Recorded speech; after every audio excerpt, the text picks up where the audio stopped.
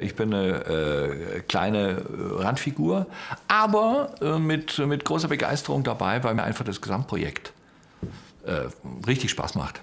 Natürlich sind auch Inhalte wichtig und diese Bücher von Oliver Hassenkamp, ähm, der mir in erster Linie ein Begriff war als Partner von Erich Kästner. Ähm, äh, das sind Bücher, die ich früher auch gelesen habe und äh, ich drehe sehr gerne Kinderfilme. Weil ein Kinderfilm heutzutage nicht mehr ist, einer setzt sich einen roten Plüschhasen auf und ist lustig, sondern das sind ja richtig aufwendige, sehr, sehr gewissenhaft gemachte Produktionen. Also mache ich mit großem Spaß. Du kommst auf ein Internat. Kein Internet, sondern Internat. Es ist eine Burg, ganz alt. Richtig abenteuerlich. Sie heißt Burg Schreckenstein.